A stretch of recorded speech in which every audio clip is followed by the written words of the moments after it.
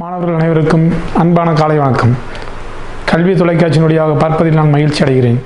இன்றைக்கு நம்ம பார்க்கக்கூடிய பாடம் அணைவு வேதியியல். அணைவு வேதியியலில் நீட் தேர்வில் குறைந்தபட்சம் நான்கு கேள்விகள் கேட்கப்படுகின்றன. ஸோ நான்கு கேள்விகள் வீதம் பதினாறு மதிப்பெண்கள் வந்து நீட் தேர்வில் நம்ம எளிதில் வந்து வாங்க முடியும். முதன் முதலில் அணைவு சேர்மங்களை பற்றி வெர்னர் என்பவர் ஆராய்ந்தார். ஸோ ஃபஸ்ட்டு வந்து நம்ம இந்த பாடத்தை பார்க்குறப்ப ஒரு எளிய உப்பு எளிய உப்புனா என்ன நமக்கு வந்து தெரிஞ்சிருக்கணும். சரி எளிய உப்பு என்பது ஒரு நேர்மின் அயனி ஒரு எதிர்மின் அயனி இரண்டு அயனிகள் இணைந்து வந்து ஒரு எளிய உப்பினை உருவாக்கும். ஸோ எடுத்துக்காட்டாக ஒரு அமிலம் ஒரு காரம் ஹைட்ரோக்ளோரிக் அமிலம் மற்றும் சோடியம் ஹைட்ராக்சைடு இரண்டும் கலந்த கலவையை நடுநிலையாக்கல் வினைக்கு உட்படுத்தும் பொழுது எளிதில் சோடியம் குளோரைடு என்ற ஒரு எளிய உப்பானது உருவாகின்றது. ஸோ NaCl NaCl என்ற உப்பினை அயனியாக்கம் செய்யும் பொழுது Na ப்ளஸ் என்ற அயனிகளும் Cl மைனஸ் என்ற அயனிகளும் உருவாகின்றன. இவ்வயனிகளானது சோதனைகளுக்கு உட்படுகின்றன.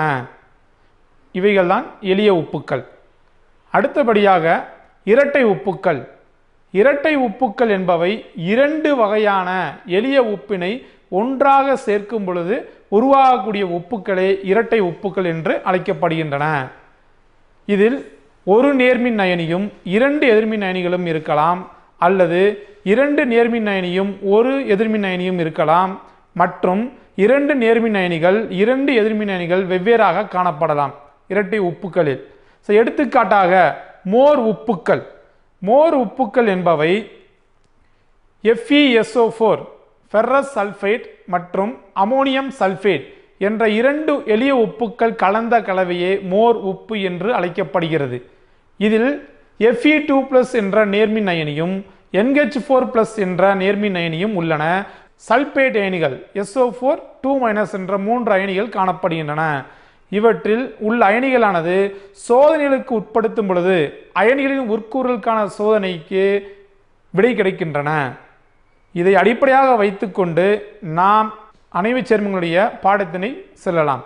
அணைவுச் சேர்மங்கள் என்பவை இரண்டு வகையான உப்புகளை ஒன்றாக சேர்க்கும் பொழுது நம்மளுக்கு ஒரு சேர்மமானது உருவாகின்றது. எடுத்துக்காட்டாக ஃபெர்ரிக் குளோரைட் எஃப்இசிஎல் த்ரீ மற்றும் பொட்டாசியம் தயோசைனைட் இரண்டு கரைசலை ஒன்றாக சேர்க்கும் பொழுது பொட்டாசியம் ஃபெர்ரோசைனைடு என்ற ஒரு அணைவுச் சேர்மமானது உருவாகின்றது. ஸோ அணைவுச் சேர்மத்துக்கும் முதலில் பார்த்த இரட்டை உப்புக்கள் மற்றும் எளிய உப்புக்கள் இவற்று இரண்டிற்கும் இடையே உள்ள வேறுபாடுகள் என்னவென்றால் இரட்டை உப்புக்களும் எளிய உப்புக்களும் அயனியாகி அயனிகளானது சோதனைக்கு உட்படுத்தும் பொழுது சோதனைக்கான உறுதியை தருகின்றது. ஆனால் அணைவுச் சேர்மத்தில் அணைவுச் சேர்மத்தில் உள்ள அயனிகள் ஒரு கூறு அயனிகள் ஒன்று மற்றும் அயனியாகும் மற்றொன்று உட்கூறுகளானது அயனியாவதில்லை. அனைத்து மூலக்கூறுகளும் வந்து அணைவுச் சேர்மங்களில் அயனியாகும் தன்மை வந்து மிக மிக குறைவு. அந்த அடைப்பு குறிக்கோள் அடைப்பு அணைவுச் சேர்மத்தில் உள்ள அடைப்பு குறிக்கோள் வெளியே உள்ள வகையில் மட்டுமே வந்து அயனியாகும் தன்மையை பெற்றுள்ளன. அது கலை சொற்கள் வந்து தெளிவாக தெரியணும். ஸோ கலை சொற்கள் வந்து தெளிவாக நம்மளுக்கு தெரிஞ்சிருச்சுன்னா இந்த கருத்துக்கள் வந்து நமக்கு எளிதில் வந்து வேகமாக புரிஞ்சிடும் ஸோ கலை சொற்கள் கலை சொற்கள் என்பவை அணைவின் உட்கூறுகள் மைய உலோக அயனி ஈனிகள் அணைவு கோலம் அணைவு பன்முகி அணைவு எண் ஆக்சிஜனேற்ற எண் இவற்றை எல்லாம் வந்து அடிப்படையாக கொண்டு தான் வந்து பெர்னர் கோழியை வந்து ரொம்ப எளிதில் வந்து நம்ம வந்து கற்க முடியும். முதல் முதலாக நம்ம எடுத்துட்டோம் அணைவு உட்கூறுகள். அணைவு உட்கூறுகள் என்பவை சதுர அடைப்பு குறிக்குள் ஒரு அணைவு சேர்மத்தின் சதுர அடைப்பு குறிக்குள் உள்ள கூறுகளே அணைவின் உட்கூறுகள் என்று அழைக்கப்படுகின்றன. எடுத்துக்காட்டாக கே ஃபோர் எஃப்இசிஎன் சிக்ஸ் என்ற அணைவு பொருளின் உட்பொருள் எதுன்னு பார்த்தோம்னா அந்த அடைப்பு குறி இருக்கு பார்த்தீங்களா? அடைப்பு குறிக்குள்ள இருக்கக்கூடிய எஃப்இசிஎன் சிக்ஸ் இவை தான் வந்து உட்கூறுகள். இதே போல இன்னொரு எடுத்துக்காட்டு என்ஐசிஓ ஃபோர் என்ஐசிஓ ஃபோர் என்ற அணைவுச் சேர்மத்தில் உட்கூறுகள் என்பவை என்ஐசிஓ ஃபோர் அதான் வந்து அணைவின் உட்கூறுகள். இப்போ அதுக்கடுத்து நம்ம பார்த்தோம்னா மைய உலோக அயனி. மைய உலோக அயனி அல்லது மைய உலோக அணு. அதை எப்படி நம்ம ஒரு அணைவுச் சேர்மம் கொடுத்துட்டா கண்டுபிடிக்கிறது? அப்படின்னு பார்த்தோம்னா ஒரு அடைப்புக்குறிக்குள் இருக்கக்கூடிய அணு. அணுவானது மைய உலோக அணு எனப்படும். இரண்டு வகையான அணுக்கள் காணப்படலாம். இரண்டு வகையான அணுக்கள் என்பது என்ன வந்து ஒரு மேக்சிமம் நம்ம பார்க்குறது வந்து ஒரே ஒரு அணுக்கள் தான் வந்து நம்ம டுவெல்த் லெவலில் இருக்கும். இதே வந்து இரண்டு அணுக்கள் வந்து காணப்படும் மூன்று அணுக்கள் காணப்படும். நம்மளுக்கு பார்க்குறது ஒரே ஒரு அணுவை வைத்து மட்டும் தான் வந்து நம்ம டுவெல்த் லெவலில் பார்க்க போகிறோம் ஸோ ஒரே ஒரு மைய ஒரே ஒரு அணுவானது அடைப்புக்குறிக்குள் காணப்பட்டால் அவ்வணுவானது மைய உலோக அணு என்று அழைக்கப்படுகின்றது.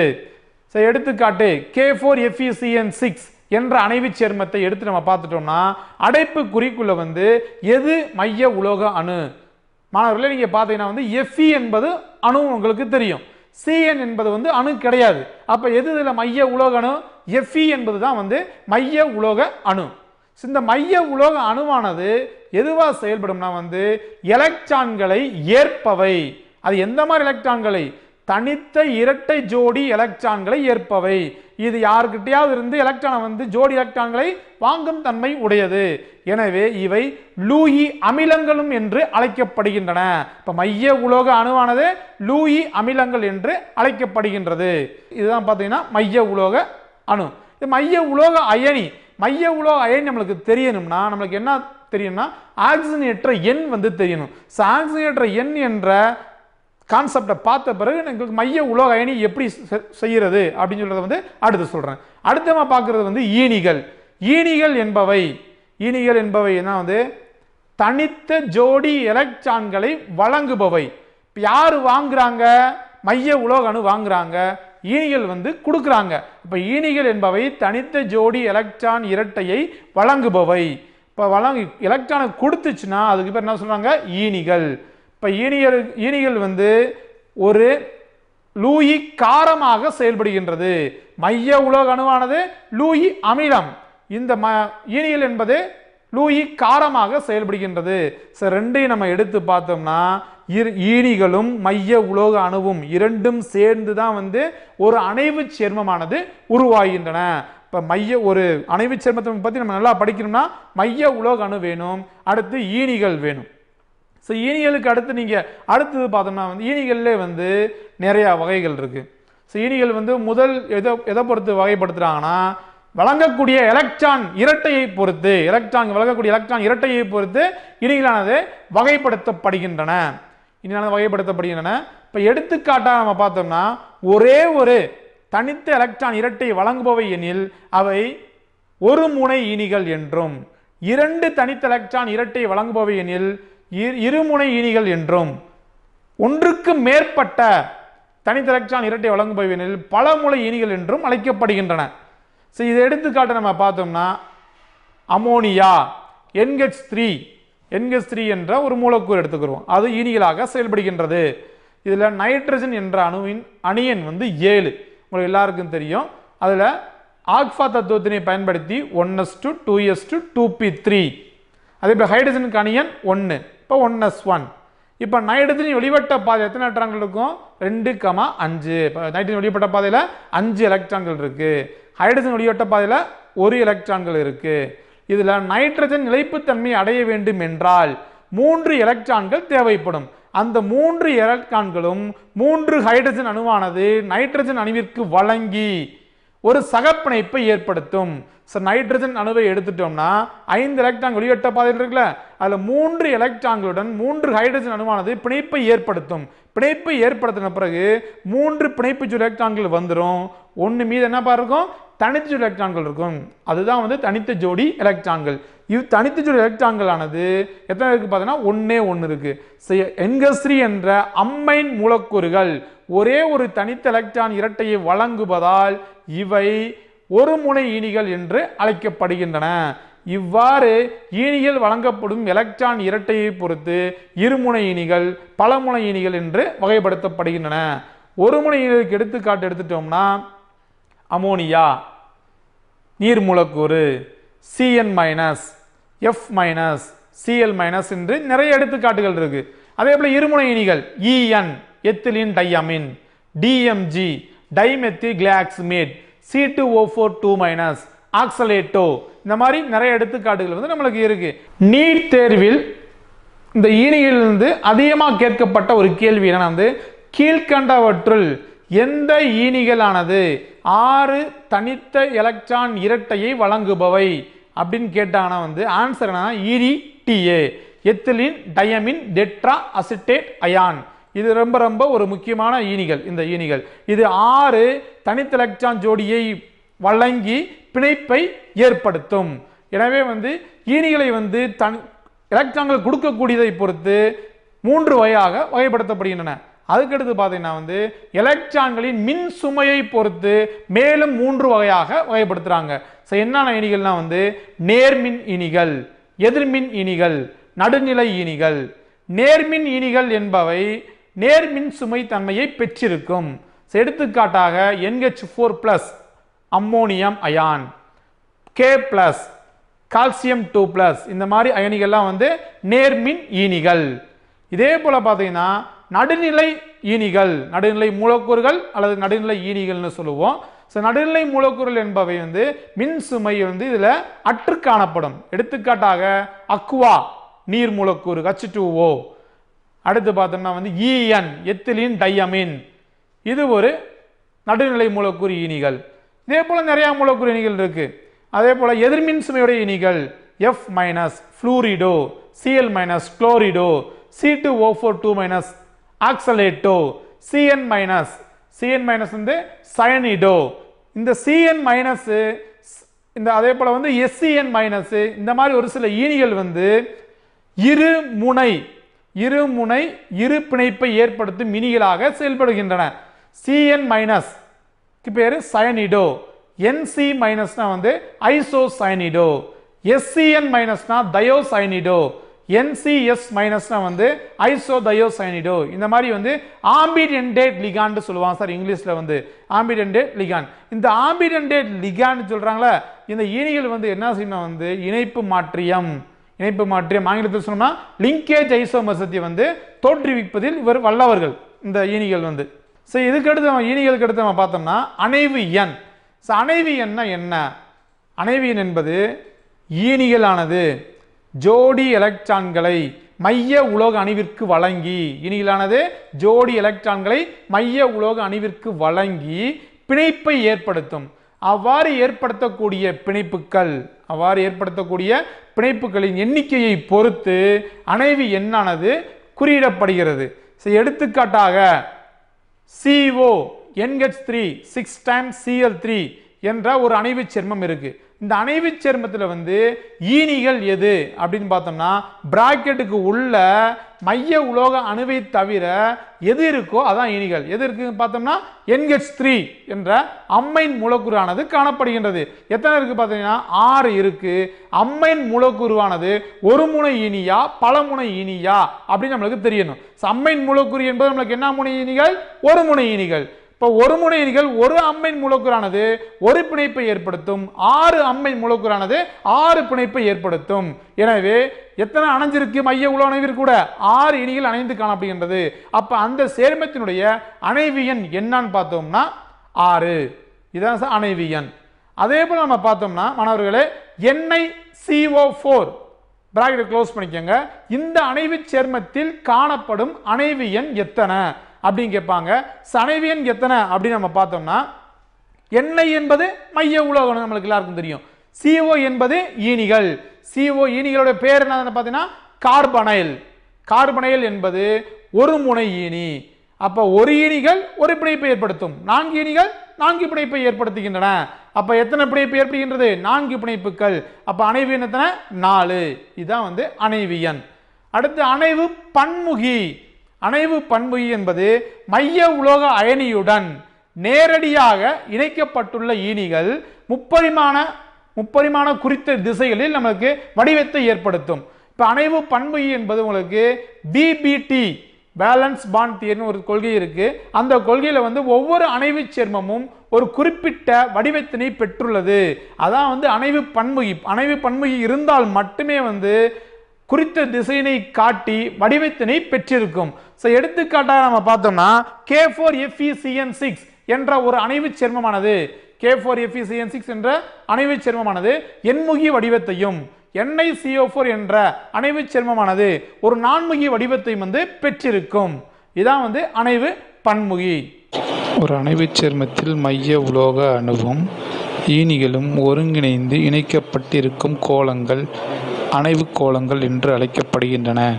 எடுத்துக்காட்டாக கே ஃபோர் எஃப்இசிஎன் சிக்ஸ் என்ற அணைவுச் சேர்மத்தில் காணப்படும் அணைவுக்கோளம் எஃப்இசிஎன் சிக்ஸ் ப்ராக்கெட்டை க்ளோஸ் பண்ணிட்டு மேலே ஃபோர் மைனஸ் இதுவே இச்சேர்மத்தின் அணைவுக்கோளம் என்று அழைக்கப்படுகின்றது.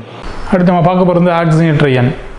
ஆக்சிஜனேற்ற எண் என்பது மைய உலோக அணுவானது ஹீனியலிடமிருந்து ஏற்கக்கூடிய எலக்ட்ரான் இரட்டையில் இரட்டையில் மீதி எஞ்சி இருப்பதே வந்து அந்த மைய உலோக அணுவினுடைய ஆக்சிஜனேற்ற எண். ஸோ எடுத்துக்காட்டு நம்ம பார்த்தோம்னா எஃப்இசிஎன் சிக்ஸ் ஃபோர் மைனஸ் என்ற அணைவுச் சேர்மத்தில் காணப்படும் ஆக்சிஜனேற்ற எண் என்ன அப்படின்னு கேட்பாங்க. இதில் நம்மளுக்கு மைய உலோக அணு எதுன்னு ஃபஸ்ட்டு கண்டுபிடிக்கணும். இதில் எஃப்இ என்பது தான் மைய உலோக அணு. ஸோ எஃப்இ இதை வந்து நம்ம என்ன வச்சுக்கிறோம்? எக்ஸ்னு வச்சுக்கிறோம். ஸோ எஃப்இ வந்து எக்ஸ் அடுத்து என்ன இருக்குது பார்த்தீங்கன்னா ஈனிகள். சிஎன் ஈனிகள். சிஎன் என்ன அணிகள்னு பார்த்தோம்னா எதிர்மின் சுமை ஈனிகள். ஸோ சிஎன் எதிர்மின் சுமை ஈனிகளுடைய மதிப்பு வந்து மைனஸ் ஒன்று அப்போ எக்ஸ்னு போட்டோம் எக்ஸுக்கு அடுத்து ப்ளஸ் எக்ஸ் ப்ளஸ் மைனஸ் ஒன்று எத்தனை இனிகள் இருக்குது ஆறு இனிகள் இப்போ மைனஸ் ஒன்று இன்ட்டு ஆறு. இப்போ மைனஸ் ஒன்று இன்ட்டு ஆறு சீக்குவல் டு ப்ராக்கெட்டுக்கு மேலே நம்மளுக்கு என்ன மின்சுமை கொடுத்துருக்காங்க? ஃபோர் மைனஸ் இப்போ equal to four minus x plus minus ஒன்று இன்ட்டு ஆறு சீக்குவல் டு மைனஸ் நாலு ஸோ இந்த சமன்பாடை நம்ம என்ன செய்ய போகிறோம் இயற்கணித முறையினை பயன்படுத்தி சுருக்க போகிறோம் அப்படி சுருக்கிறப்ப எக்ஸ் மதிப்பு மேலே அடைக்க போது எக்ஸ் சீக்குவல் டு ரெண்டுன்னு கிடைக்கும். அதுதான் வந்து அந்த எஃப்இ என்ற அணுவினுடைய ஆக்சிஜனேற்ற எண். எஃப்இனுடைய ஆக்சிஜனேற்ற எண் வந்து ரெண்டு. எந்த சேர்மத்துக்கு? F E C N six four minus என்ற அணைவு சேர்மத்துக்கு வந்து ஆக்சிஜனேற்ற எண் வந்து ரெண்டு. அடுத்து இன்னொரு எடுத்துக்காட்டு நம்ம பார்த்தோம்னா C U N H three four times bracket close பண்ணி மேலே டூ ப்ளஸ்ன்னு இருக்குது இந்த அணைவு சேர்மத்திலுடைய மைய உலோக அணுவின் ஆக்சிஜனேற்ற எண் என்ன? அப்படின்னு கேட்பாங்க. இப்போ என்னென்ன அப்படி கேட்குறப்ப நம்மளுக்கு வந்து சி என்பது மைய உலோக அணு. அதுதான் எக்ஸு எக்ஸுன்னு போட்டாச்சு. எக்ஸ்னு போட்டு என்கஸ் த்ரீ என்கஸ் த்ரீ என்ற மூலக்கூறினுடைய மின்சுமை என்ன பார்த்தோம்னா பூஜ்ஜியம். இப்போ பூஜ்ஜியம் இன்ட்டு நாலு பூஜ்ஜியம் தான் வரப்போகுது. இப்போ பிராக்கெட்டுக்கு மேலே என்ன இருக்குது ப்ளஸ் ரெண்டு இப்போ சி டு ரெண்டு. அப்போ இந்த சமன்பாடை நம்ம சுருகி கொண்டு வந்தோம்னா எக்ஸ் சி டு ரெண்டுங்கிற வரப்போகுது. அப்போ காப்பர் சியினுடைய ஆக்சிஜனேட்டர் என்னன்னா ரெண்டு.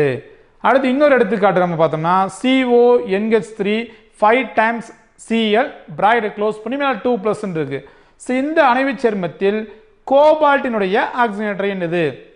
கோபால்ட்டு எக்ஸ் என்ஹெச் த்ரீக்கு மின்சுமை நமக்கு தெரியும் ஜீரோ சிஎலுக்கு மின்சுமை மைனஸ் ஒன்று அப்போ x plus zero plus minus ஒன்று ப்ராக்கெட்டுக்கு மேலே டூ ப்ளஸ் இருக்குது இப்போ சீக்வல் டு டூ அப்போ சுருக்கம் நமக்கு என்ன வரும்? எக்ஸ் சீக்வல் டு த்ரீன்னு வரும். இப்போ எக்ஸ் சீக்வல் டு த்ரீயில் த்ரீ வந்துச்சுன்னா அப்போ கோபால்ட்டினுடைய ஆக்சிஜனேட்டர் என்ன? மூன்று. இது வந்து ஆக்சிஜனேட்டர் எண்ணெய் வந்து கண்டுபிடிக்கக்கூடிய முறை. ஸோ இந்த முறையினை பயன்படுத்தி எந்த ஒரு அணைவு சேர்மம் கொடுத்தாலும் நம்ம என்ன நினச்சிடலாம்? எளிதில் வந்து ஆக்சிஜனேட்டர் எண்ணெய் வந்து கண்டுபிடிக்க முடியும். இந்த ஆக்சிஜனேட்டர் எண்ணெய் வைத்துக்கொண்டு இதுக்கு முன்னாடி நான் சொன்னேன். மைய உலோக அணுனா என்ன? அப்படின்னு நம்மளுக்கு தெரியும். மைய உலோக அணு என்பது என்னதுன்னு பார்த்தோம்னா அடைப்புக்குறிக்குள் இருக்கக்கூடிய அணுவே. அடைப்புக்குறிக்குள் இருக்கக்கூடிய ஒரு உலோக அணுவே மைய உலோக அணு நம்ம படிச்சிருக்கோம். அந்த மைய உலோக அணு தெரியும். மைய உலோக அயனினா என்னன்னா வந்து அந்த அணுவு கூட ஆக்சிஜன் ட்ரெயினுடைய மின்சுமையை நம்ம போட்டுட்டோம்னா அதான் வந்து மைய உலோக அயனி. So F E C N six four minus என்ற அணைவி சேர்மத்தினுடைய மைய உலோக அயனி எதுன்னு பாட்ட- பார்த்தோம்னா எஃப்இ என்பது அணு. கண்டுபிடிச்சக்கூடிய ஆக்சிஜன் என்னது? ரெண்டு ப்ளஸ் அப்போ எஃப்இ டூ ப்ளஸ் என்பது மைய உலோக அயனி. அதே போல் C O N H three five times C L bracket close பண்ணி டூ ப்ளஸ்ன்னு போட்ட அந்த அணைவு சேர்மத்தில் வந்து சிஓ த்ரீ ப்ளஸ் என்பது மைய உலோக அயனி என்று அழைக்கப்படுகின்றது. இதுதான் வந்து ஆக்சிஜனேற்ற எண். இந்த ஆக்சிஜனேற்ற எண்ணை தொடர்ந்து நம்ம அடுத்து என்ன பார்க்க போகிறோம்னா அணைவு சேர்மங்களுடைய வகைகளை பற்றி பார்க்க போகிறோம் சனைவு சேர்மங்களின் வகைகள். அணைவு சேர்மங்களின் வகைகளை வந்து இரண்டு வகையாக வந்து பிரிக்கிறாங்க. எப்படி பிரிக்கிறாங்க வந்து ஒன்று அணைவின் மீதுள்ள மின்சுமை மற்றொன்று அணைவு உட்பொருளில் காணப்படும் ஈனிகளின் வகைகள். ஒன்று அணைவின் மீதுள்ள மின்சுமையை வச்சு ஒரு ஒரு ஒரு பக்கம் பிரிக்கிறாங்க. இன்னொன்று வந்து அணைவு உட்கு உட்பொருளில் உள்ள ஈனிகளின் மின்சுமையை பொறுத்து பிரிக்கிறாங்க.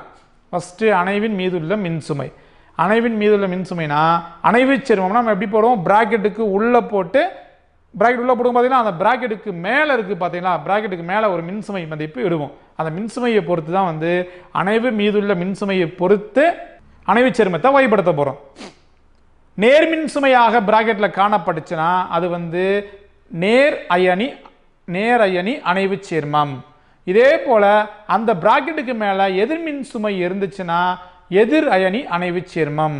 எவ்வித மின்சுமையே இல்லாமல் இருந்துச்சுன்னா நடுநிலை அணைவு சேர்மம் என்று அழைக்கப்படுகிறது. ஃபர்ஸ்ட் என்ன சொன்னோம்? நேர் மின்சுமை இருந்தால் அது நேர் அயனி அணைவு சேர்மம். எடுத்துக்காட்டு A G N H three twice bracket close பண்ணி மேலே ப்ளஸ் இருக்கும். Plus C O N H three six time மேலே பிராக்கெட் க்ளோஸ் பண்ணி த்ரீ ப்ளஸ் இருக்கும். இந்த அணைவுக்கின் மேலே பார்த்தோம்னா நேர் மின்சுமை இருக்கிறதுனால இதுக்கு பேர் நேர் அயனி அணைவு சேர்மம். அதே போல் பார்த்தோம்னா எதிர் மின்சுமை இருந்தால் அது எதிர் அயனி அணைவு சேர்மம். எடுத்துக்காட்டு சிஓசிஎன் சிக்ஸ் போட்டு மேலே த்ரீ மைனஸ் இருக்கும் பிராக்கெட்டில் அதே போல் F E C N six மேலே ஃபோர் மைனஸ் இருக்கும். இந்த இரண்டு அணைவு சேர்மத்தில் நமக்கு என்ன இருக்குது எதிர்மின் சுமை கொண்ட அணிலானது காணப்படுகின்றன. எனவே இவை எதிர் அயனி அணைவு சேர்மங்கள் என்று அழைக்கப்படுகின்றது. அடுத்து பார்த்தோம்னா எண்ணெய் சிஓ ஃபோர் மேலே எந்த ஒரு மின்சுமையும் காணப்படவில்லை. இப்போ எஃப்இ சிஓ ஃபைவ் அதில் எந்த மின்சுமையும் காணப்படவில்லை. இரண்டு அணைவு சேர்மத்தில் அணைவு கோலத்திற்கு மேற்புறம் மின்சுமையில் காணப்படவில்லை எனில் மின்சுமையே இல்லை. அப்படின்னா நம்மளுக்கு என்ன சொல்கிறாங்க நடுநிலை அணைவு சேர்மம் என்று அழைக்கப்படுகின்றது. இவ்வாறு அணைவின் மீதுள்ள மின்சுமையை பொறுத்து மூன்று வகையாக வகைப்படுத்தப்படுகின்றன. அடுத்து நம்ம பார்த்தோம்னா ஈனிகளின் தன்மையை பொறுத்து வகைப்படுத்துதல். ஈனிகளின் தன்மையை பொறுத்து வகைப்படுத்துகிறப்ப வந்து இரண்டு வகையான வகைகள் இருக்குது எப்படி வகைப்படுத்துகிறோம்னா மைய உலோக அணுவில் ஒரே ஒரு இனியலானது சகப்பிணைப்பு ஏற்படுத்தி காணப்பட்டால் அவை ஓரின ஈனி அணைவு சேர்மம் என்றும் அதே போல ஒன்றுக்கு மேற்பட்ட இனிகள் அல்லது இரண்டு இனிகள் மூ மூன்று இனிகள் இப்படி மாறி மாறி காணப்படும். மேக்சிமம் வந்து ஒன்று ரெண்டு தான் வந்து அதிகமாக இருக்குது ரேராக தான் மூணு மூணு நாலு வரும். இப்போ இதில் ஃபர்ஸ்ட் என்ன சொன்னோம்? ஓரின ஈனி அணைவு சேர்மம். ஓரின ஈனி அணைவு சேர்மம்னா ஹோமோலெப்டிக் கோஆர்டினேஷன் காம்பவுண்ட் சொல்லுவாங்க. இதில் ஒரே ஒரு ஈனிகள் மட்டும் காணப்படும். C O N H three six time three plus இதில் எது மட்டும் ஈனிகள் பார்த்தோம்னா? என்கஸ் த்ரீ மட்டும்தான் ஈனிகள். அப்போ ஒரே ஒரு ஈனி இருக்குது அதனால் இந்த சேர்மம் என்ன சேர்மம்? ஓரின ஈனி அணைவு சேர்மம். அதே போல் இன்னொரு எடுத்துக்காட்டு. F E S six time two plus இதில் பார்த்தோம்னா ஒரே ஒன்று மட்டும்தான். என்ன இனிகள்? அக்வா இனிகள். இப்போ ஒரே ஒரு இனிகள் காணப்படுவதால் இது வந்து என்ன சொல்கிறாங்க ஓரின அணைவு இனிகள் அப்படின்னு சொல்லி ஓரின ஈனி அணைவு சேர்மங்கள் என்று அழைக்கப்படுகின்றது. அடுத்து நம்ம பார்த்தோம்னா C O N S three five times C L two plus இதில் பாருங்கள் எத்தனை இனிகள் இருக்குது ரெண்டு இனிகள் இருக்குது ஒன்று அம்மை இனிகள் ஒன்று மற்றொன்று குளோரிடோ இனிகள். இரண்டு இனிகள் காணப்படுவதால் இவை ஈரின அல்லது பல் இன ஈனி அணைவு சேர்மங்கள் என்று அழைக்கப்படுகின்றன. ஒரு இனிக்கு மேலே இருந்தாவே அதை நம்ம எப்படி கொண்டு போயிடும் பல் இன இனி அணைவு சேர்மங்கள் என்று அழைக்கப்படுகின்றது. எடுத்துக்காட்டாக பிளாட்டினம் பிடி என்க த்ரீ ட்வைஸ் சிஎல் டூ இது எத்தனை இனிகள் இருக்கு? இரண்டு இனிகள் இரண்டுன்னு நம்ம சொல்லாமல் நம்ம எப்படி எடுத்துக்கலாம்? பல் இன இனி அணைவு சேர்மங்கள் ஹெட்ரோலெப்டிக் அணைவு சேர்மங்கள் அப்படின்னு நம்ம எடுத்துக்கலாம். ஹெட்ரோலெப்டிக் காம்பவுண்ட்ஸ் இது ஃபுல்லாக வந்து இனிகளின் தன்மையை பொறுத்து வகைப்படுத்துதல். அணைவு வேதியியலில் கலை சுருக்கலை எடுத்து நம்ம பார்க்க போகிறதுனா வெர்னர் கொள்கை. வெர்னர் கொள்கையை வந்து வெளியிட்டவர் யாருன்னு பார்த்தோம்னா ஆல்ஃபர்ட் வெர்னர். ஆல்ஃபர் வெர்னர் வந்து வெர்னர் கொள்கையை வந்து மிக சிறப்பாக வெளியிட்டு அணை வேதியியலை வந்து மிக சிறப்பான லெவலுக்கு வந்து கொண்டு போனாங்க. ஸோ ஒரு அணைவு சேர்மங்கள் அப்படின்னு எடுத்துக்கிட்டோம்னா அந்த அணைவு சேர்மத்தில் வந்து இரண்டு வகையான இணைதிறன்கள் காணப்படுகின்றன. ஒன்று முதன்மை இணைதிறன் மற்றொன்று இரண்டாம் இணைதிறன். முதன்மை இணைதிறன் என்பவை அணுவினுடைய ஆக்சிஜனேற்ற எண்ணை குறிக்கும். இரண்டாம் இணைதிறன் என்பவை அணைவு எண்ணை குறிக்கும். ஸோ முதன்மை இணைதிறன்கள் எப்பொழுதுமே எதிர்மின் அயனிகளால் மட்டுமே நிறைவு செய்யக்கூடியவை. இரண்டாம் இணைதிறன்கள் என்பவை எதிர்மின் நடுநிலை நேர்மின் போன்ற அனைத்து மூலக்கூறுகளாம் மூலக்கூறுகளாலும் நிறைவு செய்யக்கூடியவை. ஸோ எடுத்துக்காட்டாக C O N H three six times C L three என்ற ஒரு அணைவு சேர்மத்தில் சிஎல் என்பவை சிஎல் என்பவை முதன்மை இணைதிறன்கள் என்றும் என்கஸ் த்ரீ என்ற இனிகள் இரண்டாம் இணைதிறன்கள் என்றும் அழைக்கப்படுகின்றது. ஸோ என்கஸ் த்ரீ என்பது ஈனிகள் சிஎல் என்பது அயனிகள். எப்பொழுதுமே ஈனிகளானது இரண்டாம் நிலை இணைதிறன்களாகவே உள்ளன. அந்த பிராக்கெட் இருக்குது பார்த்தீங்களா? பிராக்கெட்டுக்கு வெளியில் இருக்கக்கூடிய சிஎல் அயனிகள் அயனியுறும் தன்மை உடையதாகவும் பிராக்கெட்டு உள்ளிருக்கக்கூடிய அம்மைன் என்ற மூலக்கூறுகள் அயனியுரா தன்மையாகவும் காணப்படும். அப்போ வெளியே இருக்க சிஎல் முதன்மை இணைதிறன்கள் இருக்கு பார்த்தீங்கன்னா முதன்மை இணைதிறன்கள் வந்து அயனியுறும் இணைதிறன் என்றும் உள்ளே இருக்கக்கூடிய இரண்டாம் இணைதிறன்கள் அயனி யுரா இணைதிறன்கள் என்றும் அழைக்கப்படுகின்றது. அடுத்து நம்ம பார்த்தோம்னா இந்த முதன்மை இணைதிறன்கள் திசையொப்பு பண்பு அற்றவை. இரண்டாம் இணைதிறன்கள் திசையொப்பு பண்பு உடையவை. திஸ் இரண்டாம் இணைதிறன்கள் திசையொப்பு பண்பு உடையதால் உடையதால் அணைவு எண்ணினை பொறுத்து பன்முகி வடிவம். பன்முகி வடிவத்தின் அணைவு பன்முகியை கொண்டுள்ளது. ஸோ ஆறு அணைவு எண் இது எடுத்துக்காட்டு பார்த்தோம்னா ஆறு அணைவு எண் காணப்படுகின்றது. ஆறு அணைவு எண்ணில் எண்முகி என்ற வடிவத்தினை பெற்றுள்ளது. நான்கு அணைவு எண் இருந்தால் நான்முகி வடிவத்தையும் தலசர வடிவத்தையும் பெற்று காணப்படும். இந்த வெர்னர் வந்து இந்த கொள்கையை வந்து முதன்மை இணைதிறன்கள் இரண்டாம் இணைதிறன்களை வைத்து எடுத்துரைத்தாள். ஆனால் இந்த ஒவ்வொரு அணைவுச் சேர்மங்களும் நிறத்தினை பெற்றுள்ளன காந்த பண்பினை பெற்றுள்ளன போன்ற விளக்கங்களை வெர்னர் கொள்கையால் விளக்க முடியவில்லை. எனவே வெர்னர் கொள்கையின் வரம்புகளாக எடுத்துக்கொள்ளப்படுகிறது இவை இரண்டும். இவை இரண்டும் என்றால் நிறங்களையும் விளக்கவில்லை காந்த பண்பினையும் விளக்கவில்லை.